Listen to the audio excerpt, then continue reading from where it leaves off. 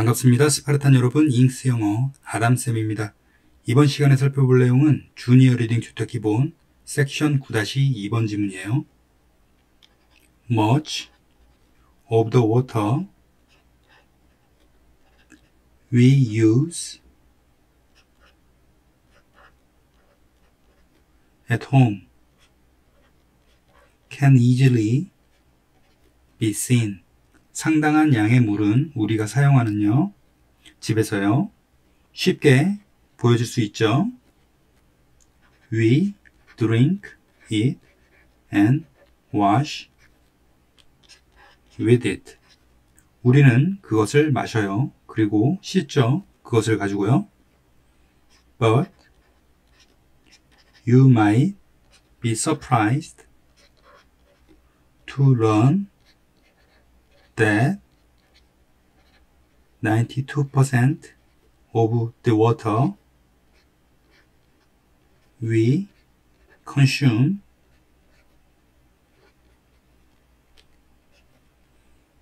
comes from the food we eat. 하지만 너는 놀랄지도 몰라요. 배운다면요. 저것을요. 92%의 물이죠. 우리가 소비하는요. 그런 물들은 옵니다. 음식으로부터요. 우리가 먹는 음식이요. We call this virtual water and we use about 3500 liters of it per day. 우리는 이것을 실질적인 물이라고 불러요. 그리고 우리는 사용하죠. 대략 3,500리터의 물을요. 하루마다요. Think about beef. 생각해보죠. 소고기에 관해서요. A cow is usually raised for three years for meat. 소는 일반적으로 길러져요. 3년 동안요. 그것의 고기를 위해서요.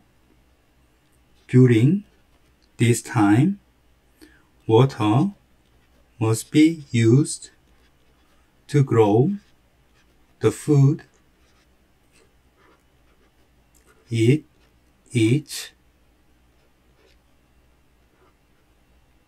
and to provide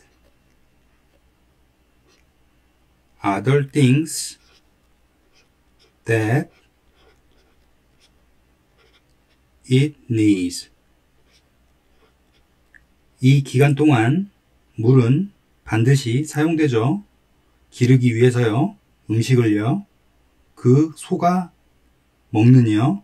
그리고 제공되기 위해서요. 다른 것들을요. 그 소가 필요로 하는 것들이죠. In the end, it takes more than 15,000 liters of water to produce 1 kilogram of beef. 결국에는 걸려요. 15,000리터보다 더 많은 양의 물이요. 생산하는 것이요. 1kg의 소고기를요. Likewise, other kinds of food such as fruits and vegetables also contain virtual water. 비슷하게 다른 종류의 음식들, 예를 들면 과일이나 채소 같은 거요. 또한 포함합니다. 실질적인 물을요. So,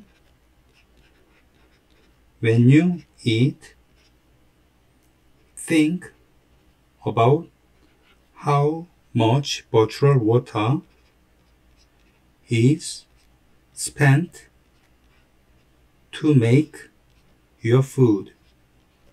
그래서 네가 먹을 때 생각을 해보라네요. 얼마나 많은 양의 물이 사용되는지요? 만들기 위해서요. 너의 음식을요. Every bit of food you waste is a waste of virtual water. 모든 조각이죠. 음식이에요. 네가 버리는요. 그 음식은 낭비입니다. 칠칠절긴 물이에요.